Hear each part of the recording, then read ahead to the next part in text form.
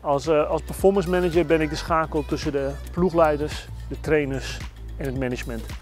Um, de, de, de, de, ploegleiders uh, hebben, de, maken de tactische plannen voor de wedstrijden. Uh, kijken vooral ook wat voor type renners ze nodig hebben en welke renners ze nodig hebben om tot resultaat te komen. Daar aan gekoppeld zijn de trainers die de voorbereidingen uh, schrijven, de, de, plannen, de trainingsplannen.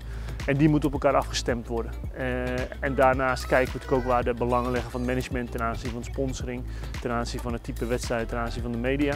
En uh, op die manier maken we een performanceplan, dat manage ik. En dat gaat erover uh, welke wedstrijden we ons richten, hoe de voorbereidingen zijn naar die wedstrijden. Kortom, een strategie voor het hele seizoen. En dat is ook de verandering. We werken nu ook echt met jaarplannen, dus de renners weten nu hun wedstrijdprogramma voor het hele jaar.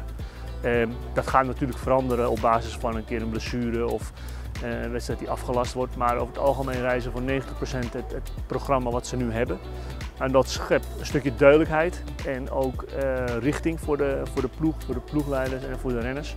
En um, ja, dat is een belangrijke verandering voor deze ploeg. Ik heb de afgelopen maanden dag en nacht gewerkt om, om de analyses te maken van de renners. Met alle betrokken ploegleiders te spreken, met de renners te spreken.